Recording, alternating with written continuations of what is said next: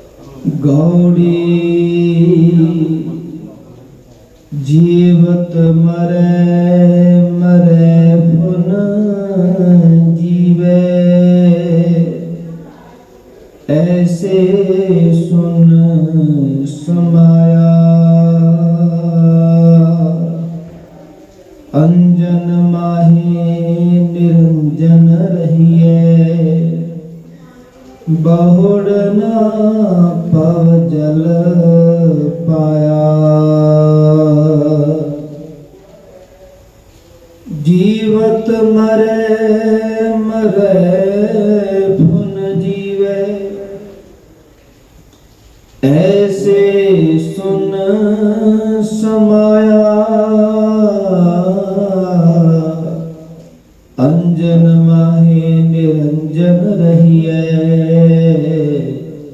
बहुड़ ना पव जल पाया। मेरे राम ऐसा खी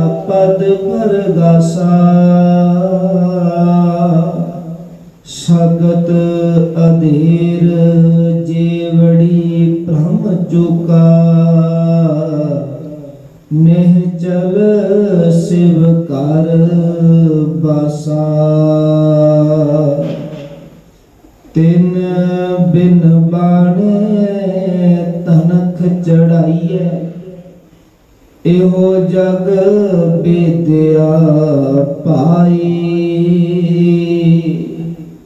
ਦਹਿ ਦਿਸ ਬੂਡੀ ਪਵਨ ਚੁਲਾਵੇ ਡੋਰ ਰਹੀ ਲਿਵ ਲਾਈ। ਉਨ ਮਨ ਮਨੁਆ, ਸੁਨ ਸਮਾਨਾ।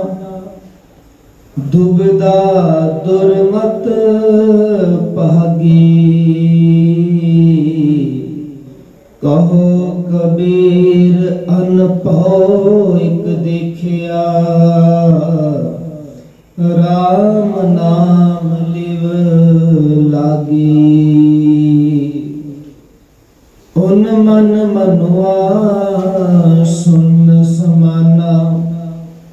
ਦੁਬਦਾ ਦੁਰਮਤ ਭਾਗੀ।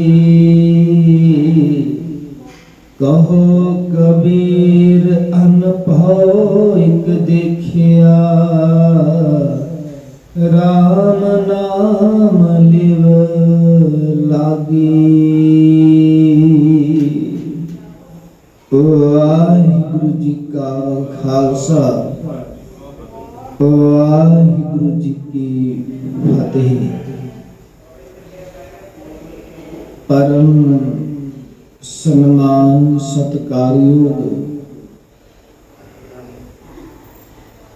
साहिब सतगुरु गुरु गरीब नवाज़ श्री गुरु ग्रंथ साहिब सच्चे पातशाह जी दीन दयालु गुरुदेव पातशाह जी के पावन दरबार अंदर सुबाई मान जुड़ बैठी समूह सा संगत जी जितने भी आप जी गुरमुख प्यारे, सतगुरां के पावन चरण कमला पास सज बैठे हो। बड़ी ही अकीदत के नाल तो आप जी ने सतगुरां के दर्शन किए ने, सतगुरां के चरणों में नतमस्तक होना किया है। गुरबाणी के कीर्तन तो उपरंत आप जी ने ਕਬੀਰ ਸਾਹਿਬ ਜੀ ਦਾ ਉਚਾਰਨ ਕੀਤਾ ਹੋਇਆ ਇੱਕ ਸ਼ਬਦ ਸ਼੍ਰਵਣ ਕੀਤਾ ਹੈ ਜੋ ਸ਼ਬਦ ਗੁਰੂ ਗ੍ਰੰਥ ਸਾਹਿਬ ਜੀ ਦੇ ਪਾਵਨ ਅੰਗ 332 ਉੱਪਰ ਸੁਭਾਈਮਾਨ ਹੈ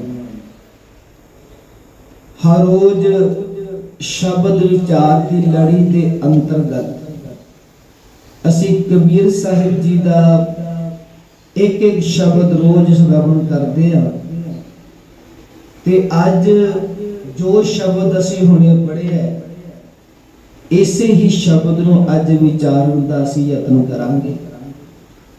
ਕਬੀਰ ਸਾਹਿਬ ਜੀ, ਇਸ ਸ਼ਬਦ ਅੰਦਰ ਜੋ ਤਤ ਭਾਵ, ਜੋ ਸਾਨੂੰ ਸਿੱਖਿਆ ਦੇਣੀ ਚਾਹੁੰਦੇ ਆ, ਕੋਸ਼ਿਸ਼ ਹਰ ਇੱਕ ਦੇ ਜੀਵਨ ਵਿੱਚ ਇਹੀ ਹੋਣੀ ਚਾਹੀਦੀ ਹੈ ਕਿ ਜੋ ਸਤਿਗੁਰੂ ਜੀ ਨੇ ਸਮੁੱਚੀ ਮਾਨਵਤਾ ਨੂੰ ਆਪਣਿਆਂ ਸਿੱਖਾਂ ਨੂੰ ਉਪਦੇਸ਼ ਬਖਸ਼ਿਸ਼ ਕੀਤਾ ਹੈ ਉਹ ਉਪਦੇਸ਼ ਕਿਸੇ ਨਾ ਕਿਸੇ ਤਰੀਕੇ ਦੇ ਨਾਲ ਸਾਨੂੰ ਸਮਝ ਆ ਜਾਏ ਅਸੀਂ ਉਸ ਉਪਦੇਸ਼ ਦੇ ਮੁਤਾਬਕ ਆਪਣੇ ਜੀਵਨ ਨੂੰ ਢਾਲ ਕੇ ਆਪਣੀ ਜ਼ਿੰਦਗੀ ਨੂੰ ਉਸੇ ਤਰ੍ਹਾਂ ਜਿਉਣਾ ਸ਼ੁਰੂ ਕਰੀਏ ਅੱਜ ਸਤਿਗੁਰੂ ਜੀ ਨੇ ਜੋ ਬਖਸ਼ਿਸ਼ ਵਰਤਾਈ ਹੈ ਸਤਿਗੁਰੂ ਜੀ ਦੀ ਕਿਰਪਾ ਦੇ ਨਾਲ ਹੀ ਇਹਨਾਂ ਅੰਮ੍ਰਿਤ ਬਚਨਾਂ ਨੂੰ ਵਿਚਾਰਾਂਗੇ ਆਪਾਂ ਸੋ ਆਓ ਜਿਤਨੇ ਆ ਵੀ ਆਪ ਜੀ ਗੁਰਮੁਖ ਪਿਆਰੇ ਬੈਠੇ ਹੋ ਕੋਈ ਰਸਨਾ ਵਾਂਝੀ ਨਾ ਰਹੇ ਜੀ ਸਾਰੇ ਕਿਰਪਾ ਕਰਿਆ ਜੀ ਬੜੇ ਪਿਆਰ ਤੇ ਅਦਬ ਸਹਿਤ ਆਖੋ ਜੀ ਸਤਨਾਮ ਸ਼੍ਰੀ ਸਾਹਿਬ ਜੀਓ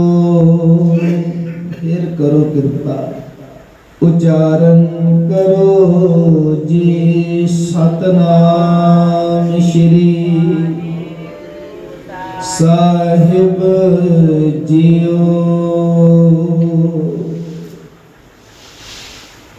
कबीर साहिब जी ने जो आज शब्द बख्शिश किया है, ये शब्द राग गौड़ी विच है शुद्ध गौड़ी विच है ਇਹ ਗੌੜੀ ਦੇ ਕਿਸੇ ਪ੍ਰਕਾਰ ਵਿੱਚ ਦਰਜ ਨਹੀਂ ਹੈ, ਕਿਉਂਕਿ ਪਿਛਲੇ ਦੋ ਤਿੰਨ ਸ਼ਬਦ ਅਸੀਂ ਗੌੜੀ ਰਾਗ ਦੇ ਪ੍ਰਕਾਰਾਂ ਵਿੱਚ ਸ਼੍ਰਵਣ ਕੀਤੇ ਜਿਵੇਂ ਗੌੜੀ ਗੁਆਰੀ ਦੀ, ਗੌੜੀ ਚੇਤੀ, ਗੌੜੀ ਪੈਰਾਗ ਅੱਜ ਸ਼ੁੱਧ ਰਾਗ ਹੈ ਇਕੱਲਾ ਗੌੜੀ। ਕਬੀਰ ਸਾਹਿਬ ਜੀ ਆਖਦੇ ਆ, ਗੌੜੀ ਜੀਵਤ ਮਰੈ ਮਰੈ ਫੁਨ ਜੀਵੈ। ਐਸੇ ਸੁਨ ਸਮਾਇਆ ਅੰਜਨ ਮਾਹੇ ਨਿਰੰਜਨ ਰਹੀਐ ਬਹੁੜ ਨਾ ਭਾਜਲ ਪਾਇਆ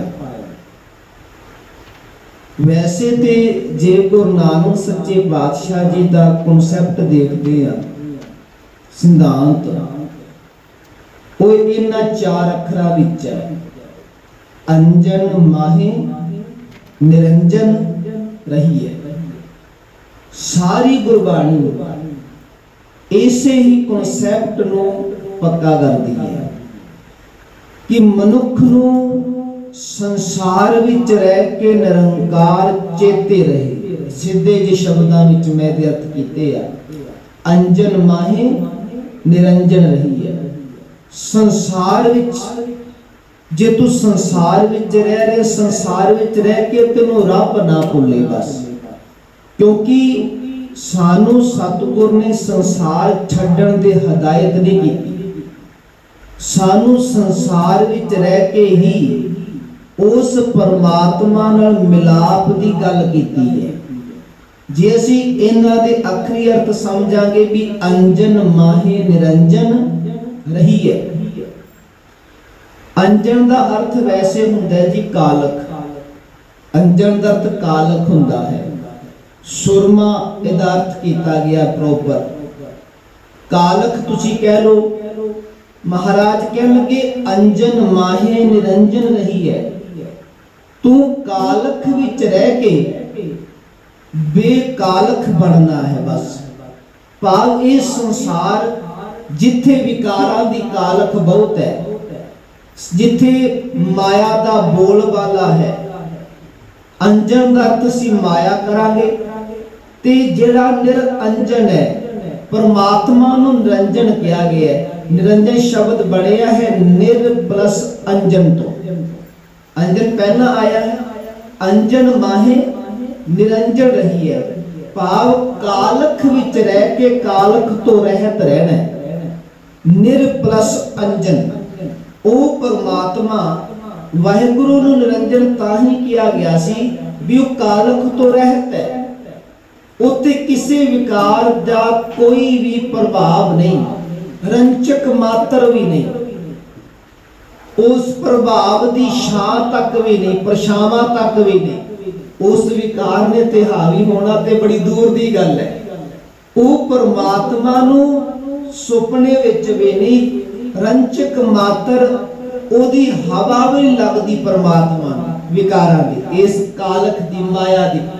ਮਹਾਰਾਜ ਜਗਤ ਨੂੰ ਨਿਰੰਜਨ ਤਾਂ ਕਿਹਾ ਜਾਂਦਾ ਹੈ ਤੇ ਇਸੇ ਕਰਕੇ ਤੇਰੇ ਲਈ ਵੀ ਇਹੀ ਸਿੱਖਿਆ ਹੈ ਕਿ ਅੰਜਨ ਮਾਹੇ ਨਿਰੰਜਨ ਰਹੀ ਹੈ ਸੰਸਾਰ ਵਿੱਚ ਰਹਿ ਕੇ ਵਿਕਾਰਾਂ ਤੋਂ ਦੂਰ ਰਹਿ ਕੇ ਪਰਮਾਤਮਾ ਨਾਲ ਜੁੜੇ ਰਹਿਣਾ ਹੈ ਬਸ ਹੁਣ ਇਹ ਸੰਸਾਰ ਹੈ ਇਸ ਸੰਸਾਰ ਵਿੱਚ ਸਾਧ ਸੰਗਤ ਜੀ ਇੱਕ ਵਿਕਾਰ ਨਹੀਂ ਹੈ ਇੱਥੇ ਬਹੁਤ ਕਾਲਕ ਹੈ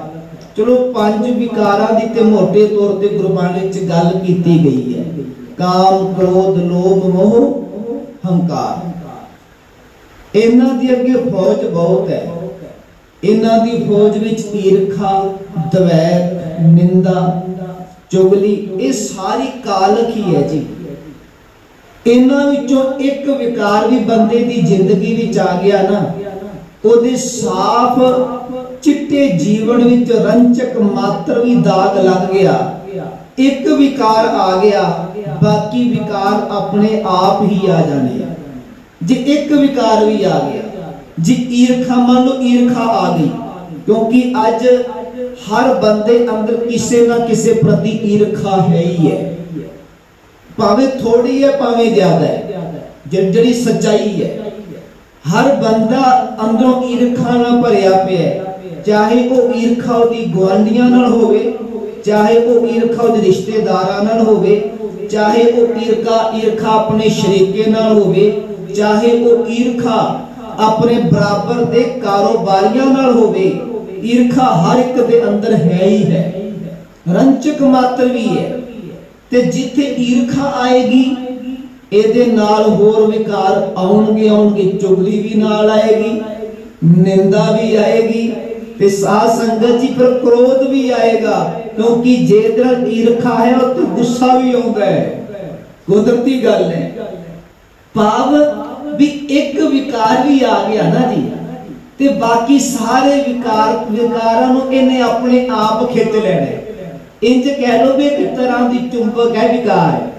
ਇੱਕ ਆ ਗਿਆ ਤੇ ਇਹਨੇ ਸਾਰਿਆਂ ਨੂੰ ਆਪਣੇ ਨਾਲ ਖਿੱਚ ਹੀ ਲੈਣਾ ਮਹਾਰਾਜ ਤਾਂ ਆਖਦੇ ਆ ਇਹ ਸਾਰਾ ਸੰਸਾਰ ਇਹ ਮਾਇਆ ਇੱਕ ਕਾਲਖ ਹੈ ਇਹ ਕਾਲਖ ਦਾ ਢੇਰ ਹੈ ਤੇ ਇਸ ਕਾਲਖ ਵਿੱਚੋਂ ਤੂੰ ਸਫੇਦ ਤੇ ਚਿੱਟਾ ਤੇ ਨਿਰਮਲ ਰਹਿਣਾ ਹੈ ਕਿਉਂਕਿ ਇੱਥੇ ਕਾਲਖ ਜੋ ਮੈਲ ਲੱਗਦੀ ਹੈ ਨਾ ਇਸ ਮੈਲ ਤੋਂ ਬਚਣਾ ਬਹੁਤ ਔਖਾ ਹੈ ਸ਼ਾਇਦ ਤਾਂ ਹੀ ਕਿਹਾ ਗਿਆ ਸੀ ਮਹਾਰਾਜ ਨੂੰ ਕਿ ਸੱਚੇ ਪਾਤਸ਼ਾਹ, ਹਮ ਮੈਲੇ, ਤੁਮ ਉਜਲ ਗਏ। ਕਿਉਂਕਿ ਤੁਸੀਂ ਨਿਰੰਜਨ ਹੋ। ਅਸੀਂ ਤੇ ਇਸ ਕਾਲਖਣ ਕਾਲੇ ਹੋਏ ਪਏ ਆ ਮੈਲੇ ਹੋਏ ਪਏ ਆ ਪਰ ਮਹਾਰਾਜ, ਤੁਸੀਂ ਇਸ ਸੰਸਾਰ ਵਿੱਚ ਰਹਿ ਕੇ ਵੀ ਨਿਰੰਜਨ ਹੋ, ਕਿਉਂਕਿ ਪਰਮਾਤਮਾ ਸੰਸਾਰ ਦੇ ਹਰ ਇੱਕ ਜੀਵ ਵਿੱਚ ਰਹਿੰਦਾ ਹੈ।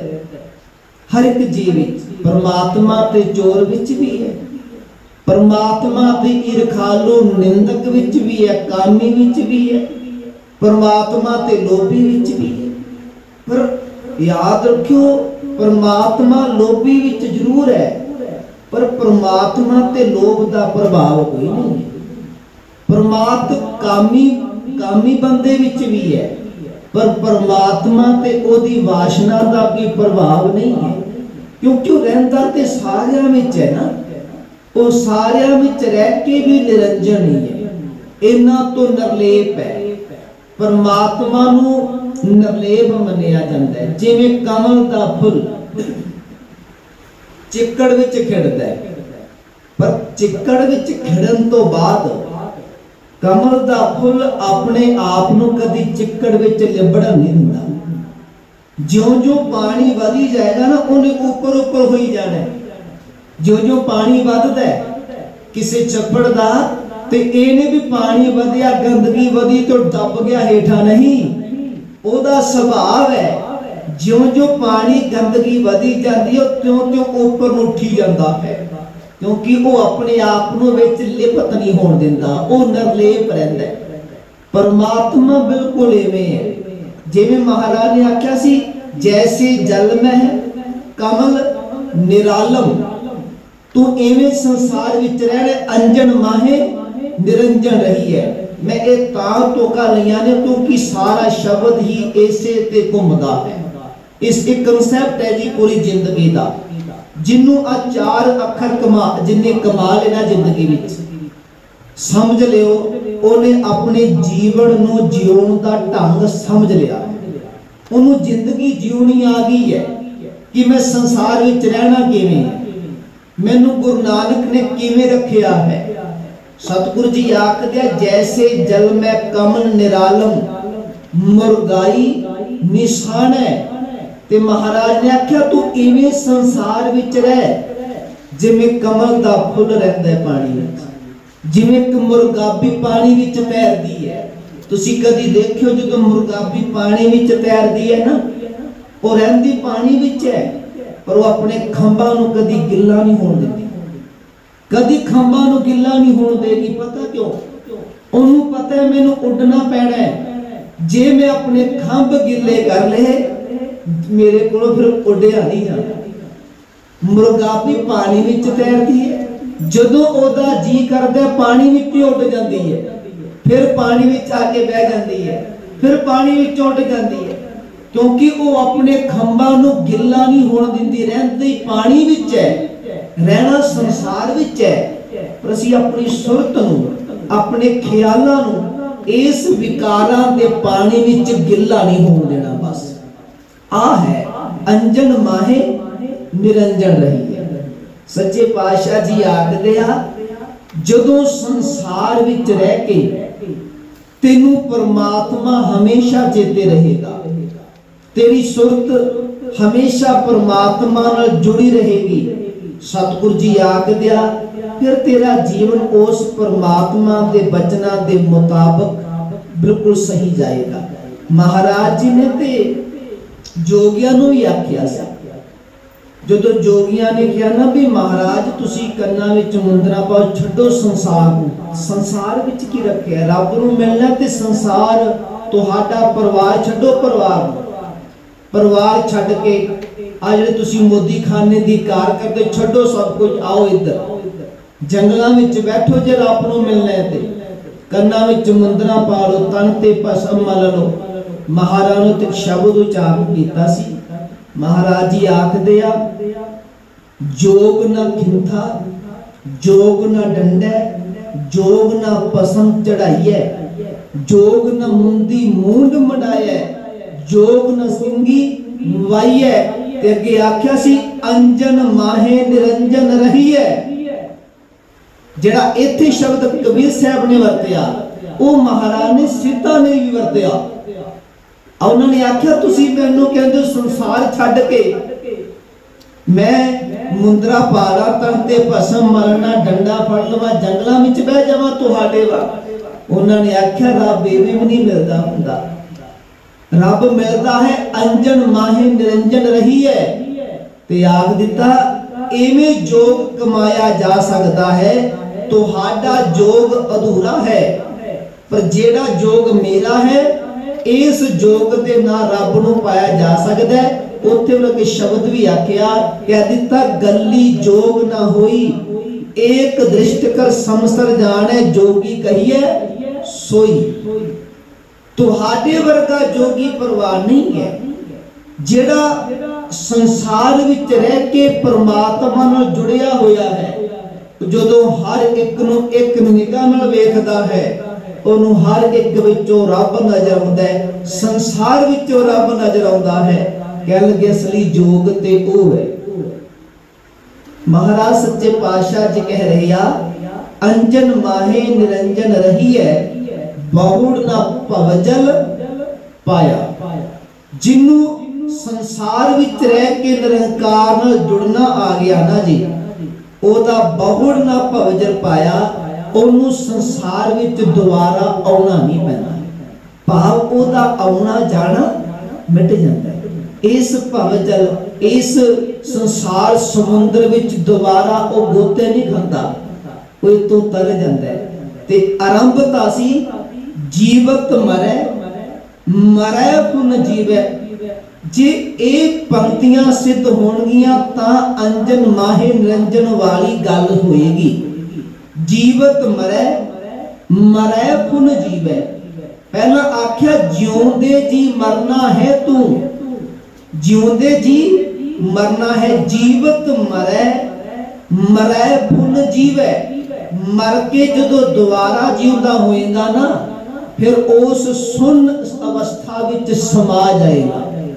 ਫਿਰ ਅੰਜਨ ਮਾਹਿ ਨਿਰੰਜਨ ਰਹੀਏ ਵਾਲੀ ਤੇਰੇ ਨਾਲ ਖੇਡ ਵਰਤੇਗੀ ਹੁਣ ਜਿਉਂਦੇ ਜੀ ਮਰਨਾ ਕੀ ਹੁੰਦਾ ਹੈ ਤੁਸੀਂ ਇੱਕ ਬਚਨ ਪੜ੍ਹਦੇ ਹੋ ਸਤਿਗੁਰੂ ਜੀ ਦਾ ਜਿੱਥੇ ਮਹਾਰਾਜ ਨੇ ਆਖਿਆ ਸੀ ਪਹਿਲਾ ਮਰਨ ਕਬੂਲ ਜੀਵਨ ਕੀ ਛੱਡ ਆਸ ਇਹ ਇਹੀ ਹੈ ਜੀਵਤ ਮਰੋ ਮਰੈ ਫੁਨ ਜੀਵੈ ਪਹਿਲਾ ਮਰਨਾ ਹੈ ਜੀਵਨ ਦੀ ਆਸ ਛੱਡ ਫਿਰ ਤੈਨੂੰ ਜੀਣਾ ਆਏਗਾ ਜੇ ਤੂੰ ਪਹਿਲਾਂ ਹੀ ਜੀਵਨ ਦੀ ਆਸ ਲਾਈ ਬੈਠਾ ਹੈ, ਫਿਰ ਨਹੀਂ ਹੁਣ ਇੱਥੇ ਮਰਨਾ ਕੀ ਹੈ ਇੱਥੇ ਮਰਨਾ ਇਹ ਨਹੀਂ ਵੀ ਸ਼ਾਰੀਰਿਕ ਤੌਰ ਤੇ ਮੌਤ ਇੱਥੇ ਉਸ ਮਰਨੇ ਦਾ ਜ਼ਿਕਰ ਨਹੀਂ ਹੈ ਇੱਥੇ ਮਰਨਾ ਹੈ ਸੰਸਾਰ ਵਾਲੇ ਪਾਸਿਓਂ ਵਿਕਾਰਾਂ ਵਾਲੇ ਪਾਸਿਓਂ ਕਿ ਤੂੰ ਵਿਕਾਰਾਂ ਵਾਲੇ ਪਾਸਿਓਂ ਆਪਣੇ ਆਪ ਨੂੰ ਮਾਰ ਦੇ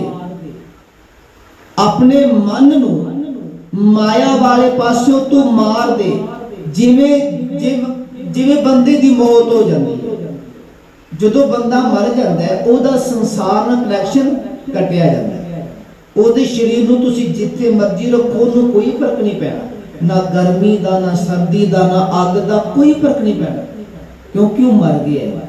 ਮਹਾਰਾਜ ਕਹਿਣ ਲੱਗੇ, ਜਿਵੇਂ ਬੰਦਾ ਸੰਸਾਰ ਵਿੱਚ ਮਰਦਾ ਹੈ ਉਹਦਾ ਰਿਸ਼ਤੇਦਾਰਾਂ ਨਾਲੋਂ ਪਰਿਵਾਰ ਨਾਲੋਂ ਪਦਾਰਥਾਂ ਨਾਲੋਂ ਜਿਸ ਘਰ ਦੀ ਖਾਤਰ ਜਿਸ ਕਾਰੋਬਾਰ ਦੀ ਖਾਤਰ ਹਮੇਸ਼ਾ ਚਿੰਤਾ ਕਰਦਾ ਸੀ ਪਰ ਜਦੋਂ ਮਰ ਜਾਂਦਾ ਹੈ, ਉਹਨੂੰ ਕੋਈ ਨਹੀਂ ਪਤਾ ਮੇਰਾ ਕਾਰੋਬਾਰ ਕੌਣ ਸਾਂਭਦਾ ਹੈ ਮੇਰਾ ਘਰ ਵਿੱਚ ਕੀ ਹੈ ਕੋਈ ਕਨੈਕਸ਼ਨ ਨਹੀਂ ਹੁੰਦਾ ਕਿਉਂਕਿ ਮਰ ਗਿਆ ਉਸ ਪਾਸੇ ਕਹਿਣ ਲੱਗੇ ਉਸੇ ਤਰ੍ਹਾਂ ਤੂੰ ਮਾਇਆ ਵਾਲੇ ਪਾਸਿਓਂ ਮਰ ਜਾ ਤੈਨੂੰ ਵਿਕਾਰਾਂ ਨਾਲ ਕੋਈ ਲੈਣ ਦੇਣ ਨਹੀਂ ਜਦੋਂ ਤੂੰ ਮਾਇਆ ਵਾਲੇ ਪਾਸਿਓਂ ਸੰਸਾਰ ਵਾਲੇ ਪਾਸਿਓਂ ਜਿਉਂਦੇ ਜੀ ਆਪਣੇ ਆਪ ਨੂੰ ਮਾਰ ਦੇਗਾ ਮਹਾਰਾਜ ਕਹਿ ਲੱਗੇ ਫਿਰ ਤੇਰਾ ਜੀਵਨ ਹੋਣਾ ਹੈ ਜਦੋਂ ਨਾ ਗੁਰੂ ਗੋਬਿੰਦ ਸਿੰਘ ਜੀ ਨੇ ਖਾਲਸਾ ਸਾਜਿਆ ਹੁਣ ਇੱਕ ਦਿਨ ਆਉਣਾ ਹੈ ਨਾ ਖਾਲਸਾ ਸਾਜਨਾ ਦਿਵਸ ਤੇ ਜਦੋਂ ਖਾਲਸਾ ਸਾਜਿਆ ਮਹਾਰਾਜ ਨੇ ਸਿਰ ਕਿਉਂ ਵੱਡੇ ਸਿਰ ਕਾਤੋਂ ਵੱਡੇ ਉਹਨਾਂ ਦੇ ਸਿਰ ਵੱਢਣ ਤੋਂ ਬਗੈਰ ਕੀ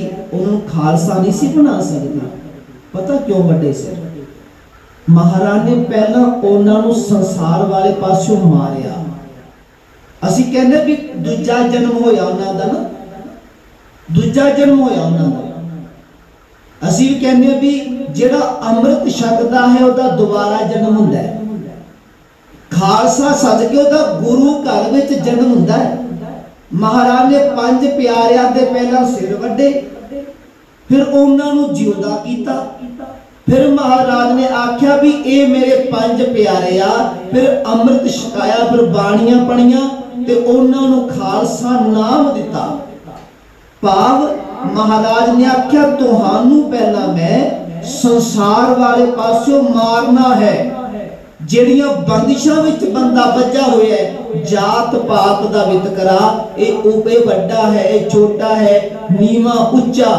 ਮਾਇਆ ਵਾਲੇ ਪਾਸੋਂ, ਵਿਕਾਰਾਂ ਵਾਲੇ ਪਾਸੋਂ ਮਹਾਰਾਜ ਨੇ ਇੱਕ ਵਾਰ ਖਤਮ ਕਰ ਦਿੱਤਾ ਤੇ ਕਹਿ ਦਿੱਤਾ, ਹੁਣ ਤੁਹਾਡਾ ਨਵਾਂ ਜਨਮ ਹੋਇਆ ਹੁਣ ਤੁਹਾਡਾ ਨਵਾਂ ਜਨਮ ਹੋਇਆ ਖਾਲਸਾ ਤਾਂ ਹੀ ਤੇ ਵਿਕਾਰਾਂ ਵਿੱਚੋਂ ਰਹਿਤ ਸੀ। ਖਾਲਸੇ ਨੂੰ ਵਿਕਾਰਾਂ ਵਿੱਚੋਂ ਰਹਿਤ ਕੀਤਾ। ਕਿ ਤੇਰਾ ਵਿਕਾਰਾਂ ਦੇ ਨਾਲ ਇਹਨਾਂ ਮ- ਇਸ ਮਾਇਆ ਨਾਲ ਕੋਈ ਸੰਬੰਧ ਨਹੀਂ ਹੈ ਤੂੰ ਪਿਓਰ ਹੈ ਤੇਰੇ ਵਿੱਚ ਰੰਚਕ ਮਾਤਰ ਵੀ ਮਿਲਾਵਟ ਨਹੀਂ ਹੈ ਕਿਉਂਕਿ ਉਹੀ ਕਨਸੈਪਟ ਜੋ ਮਹਾਰਾਜ ਸੱਚੇ ਪਾਤਸ਼ਾਹ ਗੁਰੂ ਨਾਨਕ ਜੀ ਦਿੰਦੇ ਆਏ ਆ ਜਿਹਨੂੰ ਮਹਾਰਾਜ ਆਖਦੇ ਆ ਸ਼ਬਦ ਮਰੈ ਹੁਣ ਜੀਵੋ ਸਦ ਹੀ ਤਾਂ ਫਿਰ ਮਰਨ ਨਾ ਹੋਈ। ਮਹਾਰਾਜ ਨੇ ਆਖਿਆ, ਹੁਣ ਖਾਲਸੇ ਨੂੰ ਮਾਰ ਕੇ ਮੈਂ ਨਵੀਂ ਜ਼ਿੰਦਗੀ ਦਿੱਤੀ ਹੈ ਹੁਣ ਖਾਲਸਾ ਕਦੀ ਮਰੇਗਾ ਨਹੀਂ। ਹੁਣ ਨਹੀਂ ਖਾਲਸਾ ਕਦੀ ਮਰੇਗਾ। ਤੇ ਨਾ ਇਹਨੂੰ ਕੋਈ ਮਾਰ ਸਕਦਾ ਹੈ। ਤੇ ਫਿਰ ਖਾਲਸਾ ਕਰਦਾ ਵੀ ਤੇ ਮੌਤ ਨੂੰ ਮਖੌਲਾ ਹੈ ਨਾ ਫਿਰ ਮਹਾਰਾਜ ਤਾਂ ਕਹਿੰਦੇ ਆ, ਜੀਵਤ ਮਰੈ ਮਰੈ ਫੁਨ ਜੀਵੈ। ਜਿਨੇ ਜਿਉਂਦੇ ਜੀ, ਆਪਣੇ ਮਨ ਨੂੰ ਅਸੀਂ ਆਪਣੇ ਜੇ ਮਨ ਨੂੰ ਮਾਰ ਦਈਏ ਨਾ ਜੀ, ਜਿਹੜਾ ਮਨ ਵਿਕਾਰਾਂ ਵਿੱਚ ਬਹੁਤ ਖੁਬਿਆ ਹੋਇਆ ਹੈ, ਜੋ ਸੰਸਾਰ ਦੇ ਪਦਾਰਥਾਂ, ਜਿਹਦੀ ਸੰਸਾਰ ਨੂੰ ਪਕੜ ਬਹੁਤ ਬੜੀ ਮਨ ਦੀ, ਕਿਉਂਕਿ ਇਹ ਤੇ ਸੱਚਾਈ ਹੈ, ਕਿ ਅਸੀਂ ਮੁਨਕਰ ਨਹੀਂ ਹੋ ਸਕਦੇ, ਸਾਡੀ ਪਕੜ ਬਹੁਤ ਹੈ ਸੰਸਾਰ ਹਰ ਇੱਕ ਦੀ ਹੈ। ਸੰਸਾਰ ਨੂੰ ਪਕੜ ਹੈ, ਕਿਉਂਕਿ ਪਕੜ ਕਰਕੇ ਹੀ ਅਸੀਂ ਇੱਕ ਦੂਜੇ ਨਾਲ ਜੁੜੇ ਹੋਏ ਹਾਂ। ਜੇ ਪਕੜ ਨਹੀਂ ਹੋਏਗੀ ਤੇ ਜੁੜਦਾ ਨਹੀਂ ਹੈ ਕੋਈ। ਮੈਂ ਸ਼ਾਇਦ ਇੱਕ ਵਾਰ ਪਹਿਲਾਂ ਬੇਨਤੀ ਕੀਤੀ ਸੀ, ਚਲੋ ਪਦਾਰਥਾਂ ਨਾਲ ਸੰਸਾਰ ਨਾਲ ਤੇ ਪਕੜ ਬਣਦੀ ਬਣਦੀ ਹੈ, ਰਿਸ਼ਤੇਦਾਰਾਂ ਨਾਲ, ਪੁੱਤਰਾਂ, ਧੀਆਂ ਨਾਲ, ਪਤਨੀ ਨਾਲ, ਪਤੀ ਨਾਲ, ਇਹ ਪਕੜ ਤੇ ਬਣਦੀ ਬਣਦੀ ਹੈ। ਬਹੁਤ ਡੂੰਗੀ ਬਣ ਜਾਂਦੀ ਹੈ ਪਕੜ। ਕੱਪੜਿਆਂ ਨਾਲ ਵੀ ਪਕੜ ਬਣਦੀ ਹੈ। ਜੋ ਬੰਦਾ ਆਪਣੇ ਤਨ ਤੇ ਕੱਪੜੇ ਸਜਾਉਂਦਾ ਉਹਨਾਂ ਨਾਲ ਵੀ ਪਕੜ ਬਣਦੀ ਹੈ।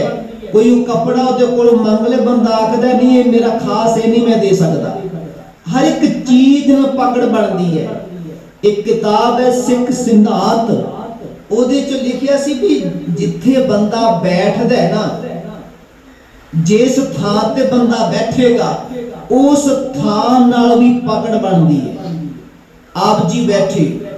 ਤੁਸੀਂ ਜਿੱਥੇ ਦੋ ਤਿੰਨ ਵਾਰ ਬੈਠੋਗੇ ਨਾ ਜਦੋਂ ਤੀਜੀ ਚੌਥੀ ਵਾਰ ਆਓਗੇ ਤੁਸੀਂ ਉਸੇ ਥਾਂ ਤੇ ਆ ਕੇ ਬੈਠੋ ਇਹ ਤਜਰਬਾ ਹੈ ਕਿਉਂਕਿ ਤੁਹਾਡੀ ਉਸ ਥਾਂ ਨਾਲ ਪਕੜ ਬਣ ਰਹੀ ਹੈ ਤੁਸੀਂ ਉਸ ਥਾਂ ਨਾਲ ਅਟੈਚ ਹੋ ਰਹੇ ਹੋ ਤੁਸੀਂ ਰੋਜ਼ ਉਸੇ ਹੀ ਥਾਂ ਤੇ ਆ ਕੇ ਬੈਠੋਗੇ ਆਸੇ-ਪਾਸੇ ਨਹੀਂ ਇਹ ਨਹੀਂ ਵੀ ਅੱਜ ਇੱਥੇ ਬੈਠੇ ਹੋ ਕੱਲ ਦੂਜੀ ਥਾਂ ਤੇ ਬਹਿ ਗਏ ਹੋ ਨਹੀਂ ਤੁਸੀਂ ਦੇਖੋ ਕਦੀ ਆਪਣੇ ਆਪ ਵਿੱਚ ਤੁਸੀਂ ਉਸੇ ਥਾਂ ਤੇ ਬੈਠੇ ਹੋ ਜਿੱਥੇ ਤੁਸੀਂ ਕਈ ਦਿਨਾਂ ਤੋਂ ਬੈਠਦੇ ਹੋਏ ਤੁਹਾਡੀ ਥਾਂ ਵਿੱਚ ਕੋਈ ਡਿਫਰੈਂਸ ਨਹੀਂ ਹੈ ਜ਼ਿਆਦਾਤਰ ਤੁਸੀਂ ਉਸੇ ਥਾਂ ਨਾਲ ਤੁਹਾਡੀ ਅਟੈਚਮੈਂਟ ਹੋ ਚੁੱਕੀ ਹੈ ਕਿਉਂਕਿ ਤੁਸੀਂ ਉਸ ਥਾਂ ਨਾਲ ਵੀ ਪਕੜ ਬਣਾ ਲਈ ਹੈ ਮੈਂ ਪਕੜ ਦੀ ਗੱਲ ਕਰ ਰਿਹਾ ਐਵੇਂ ਪਕੜ ਬਣਦੀ ਹੈ ਹੁਣ ਹੈ ਤੇ ਕੁਝ ਨਹੀਂ ਜੇ ਸੋਚਾਂਗੇ ਵੀ ਲੈ ਇਹ ਇਹ ਗੱਲ ਤੇ ਕੋਈ ਨਹੀਂ ਹੈ ਜੇ ਉੱਥੇ ਬਹਿ ਲਈਏ ਜਾਂ ਉੱਥੇ ਬੈਠ ਜੀ ਗੱਲ ਕੀ ਗੱਲ ਕੁਝ ਨਹੀਂ ਹੈ ਗੱਲ ਪਕੜ ਦੀ ਹੈ ਜੇ ਕਦੀ ਉਸ ਥਾਂ ਤੇ ਕੋਈ ਹੋਰ ਬੰਦਾ ਬੈਠਾ ਹੋਇਆ ਹੈ ਨਾ ਜਿੱਥੇ ਤੁਸੀਂ ਰੋਜ਼ ਆ ਕੇ ਬੈਠਦੇ ਹੋ ਤੁਹਾਡੇ ਮਨ ਵਿੱਚ ਆਏਗਾ ਵੀ ਇੱਥੇ ਤੇ ਮੈਂ ਬੈਠਣਾ ਸੀ ਇੱਥੇ ਤੇ ਅਜੇ ਬਹਿ ਗਏ ਪਕੜ ਹੈ ਨਾ ਇਸ ਕਰਕੇ ਇਹ ਤੇ ਇੱਕ ਥਾਂ ਨਾਲ ਹੀ ਪਕੜ ਹੈ ਸੰਸਾਰ ਨਾਲ ਬੜੀ ਪਕੜ ਬੰਦੇ ਦੀ ਮਜ਼ਬੂਤ ਬਣਦੀ ਹੈ ਜਦੋਂ ਉਹ ਚੀਜ਼ ਦੂਰ ਹੁੰਦੀ ਫਿਰ ਅਸੀਂ ਕਿਉਂ ਰੋਂਦੇ ਆ ਸਾਨੂੰ ਰੋਣਾ ਤਾਂ ਹੀ ਹੁੰਦਾ ਹੈ ਜਦੋਂ ਚੀਜ਼ ਸਾਡੇ ਤੋਂ ਦੂਰ ਹੁੰਦੀ ਹੈ, ਜੇ ਦਿਨ ਪਕੜ ਹੋਏਗੀ, ਜਦੋਂ ਉਹ ਚੀਜ਼ ਤੁਹਾਡੇ ਤੋਂ ਦੂਰ ਜਾਏਗੀ, ਤੁਸੀਂ ਤਾਂ ਰੋਂਦੇ ਹੋ। ਅਸੀਂ ਤਾਂ ਰੋਂਦੇ ਜੇ ਪਕੜ ਹੀ ਨਹੀਂ ਹੋਏਗੀ, ਫਿਰ ਸਾਨੂੰ ਰੋਣਾ ਨਹੀਂ ਆਏਗਾ। ਉਹ ਭਾਵੇਂ ਜੋ ਉਹਦੇ ਨਾਲ ਜੋ ਮਰਜ਼ੀ ਹੁੰਦਾ ਹੋਵੇ। ਹੁਣ ਗੁਰੂ ਨਾਨਕ ਜੀ ਦੀ ਪਕੜ ਨਹੀਂ ਸੀ। ਗੁਰੂ ਗੋਬਿੰਦ ਸਿੰਘ ਦੀ ਪਕੜ ਨਹੀਂ ਸੀ। ਨਾ ਅਨੰਦਪੁਰ ਨਾਲ, ਨਾ ਆਪਣੇ ਚਾਰ ਸਾਹਿਬਜ਼ਾਦਿਆਂ ਨਾਲ, ਨਾ ਪਰਿਵਾਰ ਪਕੜ ਨਹੀਂ ਸੀ, ਪਿਆਰ ਸੀ, ਪਰ ਪਕੜ ਨਹੀਂ ਸੀ। ਕਿਉਂਕਿ ਪਕੜ ਮੋਹ ਨੂੰ ਜਨਮ ਦਿੰਦੀ ਹੈ। ਮੋਹ ਦੁੱਖ ਨੂੰ ਜਨਮ ਦਿੰਦਾ ਹੈ ਤੇ ਦੁੱਖ ਬੰਦੇ ਦੇ ਜਨਮ ਤੇ ਮਰਨ ਨੂੰ ਦੁੱਖ ਦਿੰਦਾ ਹੈ। ਇਸ ਕਰਕੇ ਪਕੜ ਨਹੀਂ ਹੋਣੀ ਚਾਹੀਦੀ, ਮੋਹ ਨਹੀਂ ਹੋਣਾ ਚਾਹੀਦਾ, ਪਿਆਰ ਹੋਣਾ ਚਾਹੀਦਾ ਮਹਾਰਾਜ ਸੱਚੇ ਪਾਤਸ਼ਾਹ ਜੀ ਆਖਦੇ ਪਏ ਆ, ਅੱਜ ਗੁਰੂ ਗ੍ਰੰਥ ਸਾਹਿਬ ਜੀ ਕਹਿ ਦਿੱਤਾ, ਜੀਵਤ ਮਰੈ ਮਰੈ ਪੁਨ ਜੀਵੈ ਐਸੇ ਸੁਨ ਸਮਾਇਆ ਜਿਹਨੂੰ ਜਿਉਂਦੇ ਜੀ ਸੰਸਾਰ ਵਾਲੇ ਪਾਸਿਓਂ ਆਪਣੇ ਆਪ ਨੂੰ ਮਾਰਨਾ ਆ ਗਿਆ ਜਿਨੇ ਮਨ ਨੂੰ ਮਾਰ ਲਿਆ ਵਿਕਾਰਾਂ ਵਾਲੇ ਪਾਸਿਓਂ ਮਾਇਆ ਵਾਲੇ ਪਾਸਿਓਂ ਹਜ਼ੂਰ ਕਹਿ ਲੱਗੇ ਫਿਰ ਉਹ ਜਿਉਂਦਾ ਹੈ ਜਿਵੇਂ ਗੁਰੂ ਚਾਹੁੰਦਾ ਹੈ। ਫਿਰ ਗੁਰੂ ਦੇ ਮੁਤਾਬਕ ਉਹਨੂੰ ਜਿਉਣਾ ਆ ਜਾਂਦਾ ਹੈ ਤੇ ਕਹਿ ਦਿੱਤਾ ਇਸ ਤਰੀਕੇ ਨਾਲ ਸੁਣ ਸਮਾਇਆ ਉਸ ਪਰਮਾਤਮਾ ਵਿੱਚ ਸਮਾਈ ਹੋ ਜਾਂਦੀ ਹੈ। ਸੁਣ ਦਾ ਅਰਥ ਹੁੰਦਾ ਹੈ ਜਿੱਥੇ ਵਿਕਾਰਾਂ ਦਾ ਕੋਈ ਪ੍ਰਭਾਵ ਨਹੀਂ ਹੁੰਦਾ। ਵਿਕਾਰਾਂ ਜਿਵੇਂ ਅਸੀਂ ਕਹਿੰਦੇ ਮੇਰਾ, ਸਾਡੇ ਹੱਥ ਪੈਰ ਸੁੰਨ ਹੋ ਜਾਂਦੇ ਆ ਕਈ ਵਾਰ। ਜਦੋਂ ਹੱਥ ਪੈਰ ਸੁੰਨ ਹੋ ਜਾਂਦੇ ਆ ਤੇ ਸਾਸਮ ਨੂੰ ਚੁੰਡੀ ਵੱਡੋ ਅਤੇ ਅਸਰ ਨਹੀਂ ਹੁੰਦਾ। ਜਦੋਂ ਤੁਸੀਂ ਸੰਸਾਰ ਵਾਲੇ ਪਾਸਿਓਂ ਸੁੰਨ ਹੋ ਗਏ ਹੋ ਨਾ ਫਿਰ ਵਿਕਾਰਾਂ ਦਾ ਤੁਹਾਡੇ ਤੇ ਕੋਈ ਪ੍ਰਭਾਵ ਨਹੀਂ ਪਏਗਾ ਕਿਉਂਕਿ ਤੁਸੀਂ ਸੁੰਨ ਅਵਸਥਾ ਵਿੱਚ ਪਹੁੰਚ ਗਏ ਹੋ ਜਿੱਥੇ ਪ੍ਰਭਾਵ ਖਿਆਲਾਂ ਦਾ ਕੋਈ ਪ੍ਰਭਾਵ ਨਹੀਂ ਹੈ ਖਿਆਲ ਬਹੁਤ ਦੂਰ ਰਹਿੰਦੇ ਹੋ ਉਸ ਅਵਸਥਾ ਵਿੱਚ ਨਹੀਂ ਤੋਂ ਨਹੀਂ ਤੇ ਅਸੀਂ ਰਹਿੰਦੇ ਖਿਆਲਾਂ ਵਿੱਚ ਉੱਠਦਿਆਂ ਵੀ ਖਿਆਲ ਬੜੇ ਆ ਤੁਰਦਿਆਂ ਵੀ ਬੜੇ ਖਿਆਲ ਹੁੰਦੇ ਆ ਨਾ ਖਿਆਲਾਂ ਵਿੱਚ ਹੀ ਅਸੀਂ ਜਿਉਂਦੇ ਆ ਸਾਰੀ ਜ਼ਿੰਦਗੀ ਫਿਰ ਅੱਗੇ ਮਹਾਰਾਜ ਕਹਿਣਗੇ ਅੰਜਨ ਮਾਹੇ ਰੰਜਨ ਰਹੀ ਹੈ ਬਹੁੜ ਨਾ ਭਵ ਚਲ ਪਾਇਆ ਮੇਰੇ RAM ਐਸਾ ਖੀਰ ਬਿਲੋਈਏ ਖੀਰ ਦਾ ਅਰਥ ਦੁੱਧ ਹੈ ਕਹਿ ਦਿੱਤਾ, ਹੈ ਮੇਰੇ ਪ੍ਰਭੂ, ਐਸੀ ਕਿਰਪਾ ਕਰ। ਮੈਂ ਸਿਮਰਨ ਦਾ ਜਿਹੜਾ ਉਦਮ ਕਰਨਾ ਹੈ ਕਿਉਂਕਿ ਜਦੋਂ ਬਿਲੋਈਏ ਦਾ ਅਰਥ ਹੁੰਦਾ ਰਿੜਕਣਾ। ਜਦੋਂ ਦੁੱਧ ਨੂੰ ਰਿੜਕਿਆ ਜਾਏਗਾ, ਰਿੜਕਣ ਤੋਂ ਬਾਅਦ ਹੀ ਮੱਖਣ ਮਿਲਣਾ।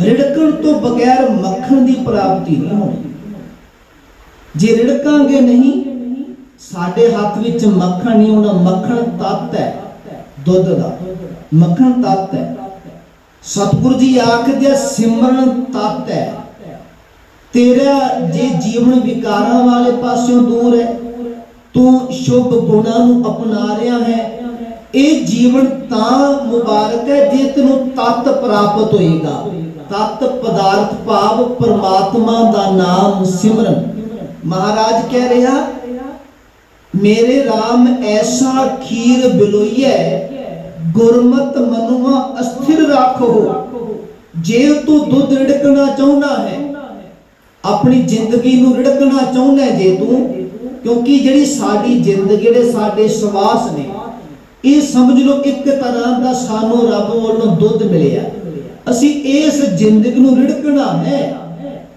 ਪਰਮਾਤਮਾ ਦੇ ਬਖਸ਼ਿਸ਼ ਕੀਤੇ ਹੋਏ ਬਚਨ ਦੇ ਨਾਲ ਗੁਰੂ ਦੇ ਉਪਦੇਸ਼ ਦੇ ਨਾਲ ਜਦੋਂ ਅਸੀਂ ਗੁਰੂ ਦਾ ਬਚਨ ਕਮਾਵਾਂਗੇ ਰੋਜ਼ ਕਮਾਵਾਂਗੇ ਇਹ ਨਹੀਂ ਵੀ ਇੱਕ ਦਿਨ ਮੰਨਿਆ ਬਸ ਠੀਕ ਹੋ ਗਿਆ ਕੰਮ ਨਹੀਂ ਜਦੋਂ ਰੋਜ਼ ਗੁਰੂ ਜੀ ਦੇ ਬਚਨਾਂ ਨੂੰ ਕਮਾਵਾਂਗੇ ਗੁਰੂ ਜੀ ਦੇ ਬਚਨਾਂ ਤੇ ਤੁਰਾਂਗੇ ਮੰਨਣ ਦੀ ਕੋਸ਼ਿਸ਼ ਕਰਾਂਗੇ ਇਹ ਹੁੰਦਾ ਹੈ ਰਿੜਕਣਾ ਫਿਰ ਜਦੋਂ ਅਸੀਂ ਅਭਿਆਸ ਕਰਾਂਗੇ ਉਹਦਾ, ਰੋਜ਼ ਬਾਣੀ ਪੜਾਂਗੇ, ਰੋਜ਼ ਨਿਤਨੇਮ ਕਰਾਂਗੇ, ਰੋਜ਼ ਨਾਮ ਜਪਾਂਗੇ ਜਿਉਂ ਜਿਉਂ ਅਭਿਆਸ ਕਰਾਂਗੇ, ਇਹਦਾ ਮਤਲਬ ਅਸੀਂ ਤਿਉਂ ਤਿਉਂ ਮਨ ਨੂੰ ਰਿੜਕਦੇ ਪਏ ਰਿੜਕਦੇ ਪਏ ਫਿਰ ਇਸੇ ਅਭਿਆਸ ਵਿੱਚੋਂ ਰਿੜਕਦਿਆਂ ਰਿੜਕਦਿਆਂ, ਅਭਿਆਸ ਕਰਦਿਆਂ ਕਰਦਿਆਂ ਇੱਕ ਦਿਨ ਉਹ ਆਉਣਾ ਹੈ।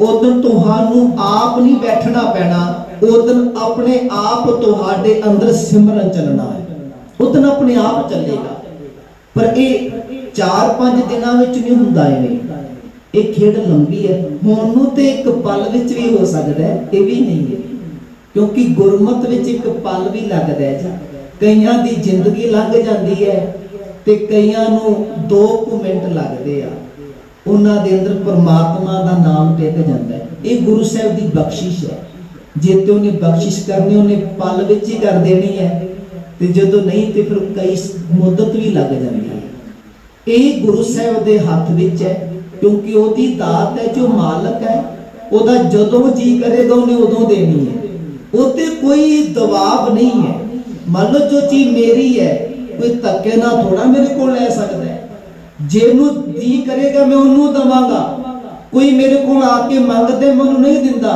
ਤੇ ਕੋਈ ਮੇਰੇ ਕੋਲ ਮੰਗਦਾ ਵੀ ਨਹੀਂ ਮੈਂ ਉਹਨੂੰ ਵੀ ਦੇ ਦਿੰਦਾ ਮੇਰੀ ਹੈ ਨਾ ਮੈਂ ਮਾਲਕ ਹਾਂ ਉਹਦਾ ਨਾਮ ਦਾ ਮਾਲਕ ਰੱਬ ਹੈ ਉਹਨੂੰ ਜਿਹੜਾ ਪਾਏਗਾ ਉਹਨੇ ਉਹਨੂੰ ਦੇਣਾ ਹੈ ਕਈ ਸਾਰੀ ਜ਼ਿੰਦਗੀ ਮੰਗਦੇ ਰਹਿੰਦੇ ਆ ਨਹੀਂ ਤੇ ਕਈ ਇੱਕ ਦਿਨ ਆ ਕੇ ਮੰਗਦੇ ਆ ਤੇ ਉਹਨਾਂ ਨੂੰ ਮਿਲ ਜਾਂਦਾ ਹੈ।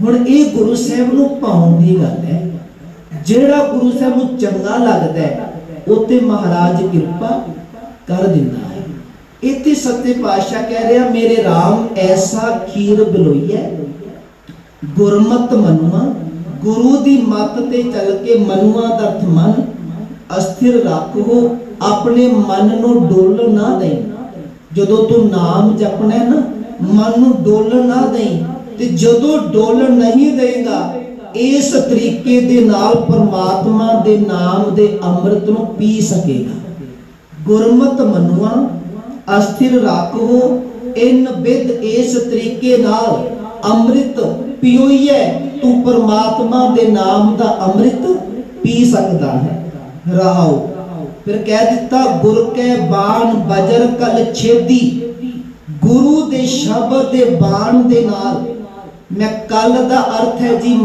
ਅਵਿਦਿਆ ਅਗਿਆਨ ਮੈਂ ਗੁਰੂ ਦੇ ਸ਼ਬਦ ਦੇ ਤੀਰ ਦੇ ਨਾਲ ਜਿਹੜਾ ਮੇਰੇ ਅੰਦਰ ਅਗਿਆਨ ਸੀ ਅਵਿਦਿਆ ਸੀ ਮੈਂ ਉਹਨੂੰ ਵਿੰਨ ਦਿੱਤਾ ਹੈ ਜਦੋਂ ਅਗਿਆਨ ਨੂੰ ਵਿੰਨ ਦਿੱਤਾ ਹੈ ਤੇ ਹੁਣ ਮੇਰੇ ਹਿਰਦੇ ਵਿੱਚ ਪਰਮਾਤਮਾ ਦੇ ਨਾਮ ਦੇ ਗਿਆਨ ਦਾ ਪ੍ਰਕਾਸ਼ ਹੋ ਗਿਆ ਹੈ ਕਹਿ ਦਿੱਤਾ ਗੁਰ ਕੇ ਬਾਣ ਬਜਰ ਕਲਸ਼ੇਦੀ ਬਜਰ ਦਾ ਅਰਥ ਹੁੰਦਾ ਹੈ ਕਰੜਾ ਬਹੁਤ ਪੱਕਾ ਅਗਿਆਨ ਹੈ ਛੇਤੀ ਕੀਤਿਆ ਨਹੀਂ ਹਟਦਾ ਹੈ ਇਹ ਪਤਾ ਨਹੀਂ ਕਦੋਂ ਦਾ ਮੇਰੇ ਅੰਦਰ ਹੈ ਇਹ ਇੰਨਾ ਕੁ ਪੱਕਾ ਹੋ ਗਿਆ, ਗੁਰੂ ਦੇ ਸ਼ਬਦ ਤੋਂ ਬਗੈਰ ਇਹਨੇ ਬਿਨਿਆ ਨਹੀਂ ਜਾਣਾ ਕਿਸੇ ਕੋਲੋਂ ਵੀ। ਇਹਨੂੰ ਗੁਰੂ ਦਾ ਸ਼ਬਦ ਹੀ ਖਤਮ ਕਰ ਸਕਦਾ। ਹੈ ਗੁਰੂ ਕੈ ਬਜਰ ਕਲ ਛੇਦੀ, ਪ੍ਰਗਟਿਆ ਪਦ ਪ੍ਰਗਾਸਾ ਸਖਤ ਅਦੇਰ ਜੇਵੜੀ ਪ੍ਰਮ ਚੂਕਾ ਸਖਤ ਦਾ ਅਰਥ ਹੈ ਜੀ ਮਾਇਆ ਅਧੇਰ ਦਾ ਅਰਥ ਹੈ ਹਨੇਰਾ ਅੰਧੇਰ, ਜੇਵੜੀ ਦਾ ਅਰਥ ਹੈ ਰੱਸੀ। ਜਿਵੇਂ ਜਦੋਂ ਹਨੇਰਾ ਹੁੰਦਾ ਹੈ ਕਈ ਵਾਰ ਘਰ ਦੇ ਵਿਹੜੇ ਵਿੱਚ ਰੱਸੀ ਵੀ ਪਈ ਹੋਵੇ ਤੇ ਉਹ ਵੀ ਸੱਪ ਦਾ ਭੁਲੇਖਾ ਪਾਉਂਦੀ ਹੈ ਭਰਮ ਹੈ ਸੱਪ ਨਹੀਂ ਹੋ ਪਰ ਹਨੇਰੇ ਵਿੱਚ ਭਰਮ ਪੈ ਜਾਂਦਾ ਹੈ ਕਈ ਵਾਰ ਵੀ ਸੱਪ ਹੈ ਕੁਝ ਹੈ ਮਹਾਰਾਜ ਕਹਿਣ ਲੱਗੇ ਜਿਵੇਂ ਹਨੇਰੇ ਵਿੱਚ ਰੱਸੀ ਦਾ ਭੁਲੇਖਾ ਸੱਪ ਕਰਕੇ ਪੈਂਦਾ ਹੈ ਉਸੇ ਤਰ੍ਹਾਂ ਜਿਹੜੇ ਵਿਕਾਰ ਨੇ ਇਹ ਵਿਕਾਰ ਬੰਨੂ ਸੱਚ ਲੱਗਦੇ ਆ ਜਿੰਨਾ ਚਿਰ ਅਗਿਆਨਤਾ ਦਾ ਹਨੇਰਾ ਹੈ ਹੈ ਤੇ ਵਿਕਾਰ ਜ਼ਿੰਦਗੀ ਨੂੰ ਬਰਬਾਦ ਕਰਦੇ ਆ ਪਰ ਬੰਦੇ ਨੂੰ ਚੰਗੇ ਲੱਗਦੇ ਆ ਉਹ ਉਹ ਉਹ ਆਖਦੇ ਵੀ ਜ਼ਿੰਦਗੀ ਦਾ ਸਵਾਦ ਹੀ ਇਹਦੇ ਵਿੱਚ ਹੈ ਇੱਕ ਵਾਸ਼ਨਾ ਵਿੱਚ ਵੀ ਹੋਰ ਵਿਕਾਰਾਂ ਨੂੰ ਨਿੰਦਾ ਕਰਕੇ ਚੁਗਲੀ ਕਰਕੇ ਉਹ ਆਖੇ ਜ਼ਿੰਦਗੀ ਅਸਲੀ ਆਏ ਪਰ ਉਹਨੂੰ ਇਹ ਨਹੀਂ ਪਤਾ ਇਹ ਮਿੱਠਾ ਜ਼ਹਿਰ ਹੈ ਇਹ ਤੈਨੂੰ ਖਤਮ ਕਰੇਗਾ ਕਿਉਂਕਿ ਅਗਿਆਨ ਹੈ ਨਾ ਅਗਿਆਨਤਾ ਵਿੱਚ ਉਹ ਚੀਜ਼ ਜਿਹੜੀ ਨਕਲੀ ਉਹ ਅਸਲੀ ਲੱਗਦੀ ਹੈ ਜੋ ਝੂਠ ਹੈ ਉਹ ਸੱਚ ਲੱਗਦਾ ਹੈ। ਪਰ ਜਦੋਂ ਗਿਆਨ ਦਾ ਚਾਨਣ ਹੋ ਜਾਂਦਾ ਹੈ, ਫਿਰ ਬੰਦੇ ਨੂੰ ਪਤਾ ਲੱਗਦਾ ਵੀ ਇਹ ਤੇ ਰੱਸੀ ਹੈ ਮੈਂ ਤੇ ਸੱਪ ਸਮਝੀ ਜਾਂਦਾ ਸਾਂ। ਜਦੋਂ ਗਿਆਨ ਦਾ ਪ੍ਰਕਾਸ਼ ਹੁੰਦਾ ਹੈ, ਫਿਰ ਬੰਦੇ ਨੂੰ ਲੱਗਦਾ ਵੀ ਜਿੰਨੂੰ ਮੈਂ ਕਹਿੰਦਾ ਸਾਂ, ਜ਼ਿੰਦਗੀ ਦਾ ਆਨੰਦ ਇਹ ਹੈ, ਇਹ ਆਨੰਦ ਨਹੀਂ, ਇਹ ਤੇ ਜ਼ਹਿਰ ਹੈ। ਇਹ ਤੇ ਮੈਂ ਜ਼ਹਿਰ ਹੀ ਫੱਕੀ ਜਾਂਦਾ ਸਾਂ। ਫਿਰ ਇਹਨੂੰ ਛੱਡਦਾ ਵੀ ਵਿਕਾਰਾਂ ਨੂੰ। ਫਿਰ ਪ੍ਰਮਾਤਮਾ ਦੇ ਨਾਮ ਬਣਾਉਂਦਾ ਹੈ। ਤਾਂ ਆਖਿਆ ਸਖਤ ਅਦੇਰ ਜੇਵੜੀ ਪ੍ਰਭ ਚੁਕਾ ਨਿਹਚਲ ਸੇਵ ਕਰ ਵਾਸਾ ਫਿਰ ਮੇਰੇ ਘਰ ਵਿੱਚ ਉਸ ਨਿਹਚਲ ਪ੍ਰਮਾਤਮਾ ਦਾ ਵਾਸਾ ਹੋ ਜਾਂਦਾ ਹੈ ਇੱਥੇ ਸ਼ਿਵ ਵਰਤਿਆ ਹੈ ਸ਼ਿਵ ਸ਼ਬਦ ਪ੍ਰਮਾਤਮਾ ਲਈ ਵਰਤਿਆ ਜਾਂਦਾ ਹੈ ਸ਼ਿਵ ਜੀ ਲਈ ਨਹੀਂ ਹੈ ਜਿਵੇਂ ਇਹ, ਗੁਰੂ ਗੋਬਿੰਦ ਸਿੰਘ ਜੀ ਵੀ ਕਿਰਪਾ ਕਰਕੇ ਆਖਦੇ ਆ ਦੇਹੀ ਸਿਵਾ ਬਰਮੋਹੇ ਇਹ ਹੈ ਉੱਥੇ ਸ਼ਬਦ ਪਰਮਾਤਮਾ ਲਈ ਆਇਆ ਹੈ ਕਿ हे ਪ੍ਰਭੂ ਜੀ ਕਿਉਂਕਿ ਸ਼ਿਵ ਦਾ ਅਰਥ ਸਭ ਤੋਂ ਵੱਡਾ ਹੁੰਦਾ ਹੈ ਕਿ ਤੁਸੀਂ ਸਭ ਤੋਂ ਵੱਡੇ ਹੋ ਸਭ ਤੋਂ ਨਿਰਲੇਪ ਹੋ ਮੇਰੇ ਰੱਬ ਜੀ ਮੈਨੂੰ ਪਰਮਾਤਮਾ ਦੇ ਨਾਮ ਦੀ ਦਾਤ ਦਿਓ ਇੱਥੇ ਆਖਦਿਆ ਸਿਵ ਕਰ ਵਾਸਾ ਫਿਰ ਉਸ ਪਰਮਾਤਮਾ ਦਾ ਮੇਰੇ ਹਿਰਦੇ ਘਰ ਵਿੱਚ ਵਾਸਾ ਹੋ ਜਾਂਦਾ ਹੈ ਅੱਗੇ ਕਹਿ ਲੱਗੇ ਬਿਨ ਬਾਣੈ ਤਨਖ ਚੜਾਈਐ ਇਹ ਜਗ ਬੇਦਿਆ ਭਾਈ, ਸ਼ਬਦ ਦੇ ਤੀਰ ਨੂੰ ਚਲਾਉਣ ਲਈ ਕਿਸੇ ਕਮਾਨ ਦੀ ਲੋੜ ਨਹੀਂ ਪੈਂਦੀ। ਇਹ ਤੀਰ ਬਿਨਾ ਕਮਾਨ ਤੋਂ ਚੱਲਦਾ ਹੈ, ਪਰਮਾਤਮਾ ਦੇ ਨਾਮ ਦਾ। ਤੇ ਇਹ ਸੰਸਾਰ ਨੂੰ ਵਿੰਨ ਕੇ ਰੱਖ ਦਿੰਦਾ ਹੈ, ਜਿਸ ਸੰਸਾਰ ਨੂੰ ਮੇਰੀ ਪਕੜ ਬਣੀ ਹੋਈ ਹੈ। ਤੇ ਜਦੋਂ ਫਿਰ ਸੰਸਾਰ ਵਿੰਨਿਆ ਜਾਂਦਾ ਹੈ, ਤੇ ਕਹਿ ਦਿੱਤਾ, ਦਹਿ ਦਿਸ ਬੋਡੀ ਪਵਨ ਝੁਲਾਵੇ, ਜਿਹੜਾ ਜਿਹੜੀ ਮੇਰੀ ਜ਼ਿੰਦਗੀ ਦਸਾਂ ਦਿਸ਼ਾਵਾਂ ਵਿੱਚ ਘੁੰਮਦੀ ਸੀ। ਮੇਰਾ ਮਨ ਦਸਾਂ ਦਿਸ਼ਾਵਾਂ ਵਿੱਚ ਭੜਕਦਾ ਸੀ। ਮੇਰਾ ਮਨ ਕਦੀ ਆਖਦਾ ਸੀ ਆ ਕਰ ਲਈਏ, ਕਦੀ ਆਖਦਾ ਸੀ, ਉਹ ਕਰ ਲਈਏ। ਮਨ ਸਾਡਾ ਐਵੇਂ ਹੀ ਹੈ ਕਿ ਦਸਾਂ ਦਿਸ਼ਾਵਾਂ ਵਿੱਚ ਜਾਂਦਾ ਹੈ। ਕਦੀ ਉਧਰ ਕਦੀ ਉਧਰ। ਭਾਵ ਇਹਦੇ ਵਿੱਚ ਕਈ ਖਿਆਲ ਹੁੰਦੇ ਆ। ਕਾਰੋਬਾਰ ਦਾ, ਪਰਿਵਾਰ ਦਾ, ਬੱਚਿਆਂ ਦਾ, ਪੜ੍ਹਾਈ ਦਾ, ਸਾਰੇ ਖਿਆਲਾਂ ਵਿੱਚ ਘੁੰਮਦਾ ਮਨ। ਤੇ ਇਹਨੂੰ ਦੇਰ ਨਹੀਂ ਲੱਗਦੀ ਘੁੰਮਣ ਲੱਗਿਆ।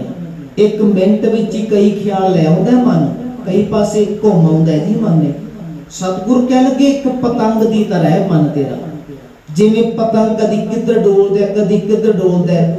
ਸਤਿਗੁਰ ਕਹਿ ਲਗੇ ਦਹਿ ਦਿਸ ਬੂਟੀ ਬੂਟੀ ਦਾ ਅਰਥ ਤੇ ਗੁੱਡੀ ਹੈ ਪਤੰਗ ਵਰਤਿਆ ਗਿਆ ਹੈ ਦਸਾਂ ਦਿਸ਼ਾਵਾਂ ਵਿੱਚ ਤੇਰਾ ਮਨ ਰੂਪੀ ਪਤੰਗ ਉੱਡਦਾ ਹੈ ਘੁੰਮਦਾ ਹੈ ਪਵਨ ਝੁਲਾਵੇ ਡੋਰ ਰਹੀ ਲੈ ਬਲਾਈ ਮਨ ਤੇਰਾ ਜਿੱਥੇ ਭਟਕਦਾ ਹੈ ਭਟਕ ਲੈਣ ਦੇ ਤੂੰ ਬਸ ਇੱਕ ਕੰਮ ਕਰਨਾ ਹੈ ਤੂੰ ਇਹਦੀ ਡੋਰ ਨਹੀਂ ਛੱਡਣੀ ਬਸ ਤੂੰ ਇਹਦੀ ਡੋਰ ਭਾਵ ਆਪਣੀ ਸੁਰਤ ਨੂੰ ਮਨ ਜਿੱਥੇ ਜਾਂਦਾ ਜਾ ਲੈਣ ਦੇ ਤੂੰ ਆਪਣੀ ਸੁਰਤ ਨੂੰ ਪਰਮਾਤਮਾ ਨਾਲ ਜੋੜ ਕੇ ਰੱਖਣਾ ਹੈ ਬਸ ਤੂੰ ਸੁਰਤ ਨਹੀਂ ਖਿੰਡਣ ਦੇਣੀ ਡੋਰ ਨਹੀਂ ਛੱਡਣੀ ਆਪਣੇ ਹੱਥ ਵਿੱਚੋਂ ਜੇ ਡੋਰ ਛੱਡ ਦਿੱਤੀ ਫਿਰ ਪਤੰਗ ਤੇਰੇ ਹੱਥ ਵਿੱਚ ਨਹੀਂ ਆਉਣਾ ਫਿਰ ਪਤੰਗ ਤੇਰੇ ਹੱਥ ਵਿੱਚ ਨਹੀਂ ਆਉਣਾ ਭਾ ਫਿਰ ਮਨ ਨਹੀਂ ਤੇਰੇ ਵੱਸ ਵਿੱਚ ਆਉਣਾ ਇਸ ਕਰਕੇ ਆਪਣੀ ਲਿਵ ਨੂੰ ਪਰਮਾਤਮਾ ਨਾਲ ਜੋੜ ਕੇ ਰੱਖ ਫਿਰ ਕਹਿ ਦਿੱਤਾ ਅਖੀਰ ਦੀਆਂ ਪੰਕਤੀਆਂ ਨੇ